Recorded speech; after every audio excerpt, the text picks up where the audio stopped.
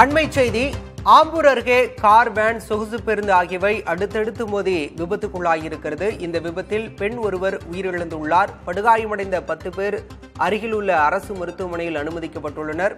கூடுதல் விவரங்களோடு செய்தியாளர் இமானுவேல் இணைந்திருக்கிறார். இமானுவேல் இந்த விபத்து எப்படி நேரிட்டது? அடுத்தடுத்து வாகனங்கள் மோதுவதற்கான காரணம் என்ன? ஆஹ் திருப்பத்தூர் மாவட்டம் ஏலகிரி பகுதியைச் சேர்ந்தவர் பிரகதீஸ்வரன். இவர் பெருமாள் கோவில் அர்ச்சகராக உள்ளார்.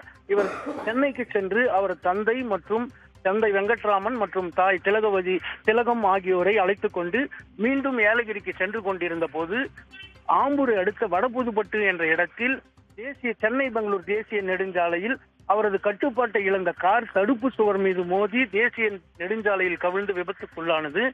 இதில் கவிழ்ந்து விபத்துக்குள்ளானவுடன் பின் தொடர்ந்து வந்த வாகனமான சொகுசு பேருந்து அது மீது மோதாமல் இருக்க நிறுத்தியுள்ளார்.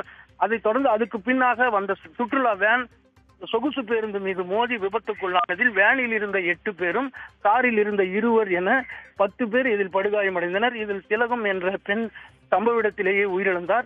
இது குறித்து உடனடியாக தகவல் அறிந்து சம்பவ இடத்திற்கு சென்ற ஆம்பூர் கிராமிய காவல்துறையினர் மற்றும் நெடுஞ்சாலைத்துறையினர் போக்குவரத்தை சரி செய்து படுகாயம் அடைந்த பயணிகளை ஆம்பூர் அரசு மருத்துவமனை சிகிச்சைக்காக சேர்த்துள்ளனர்.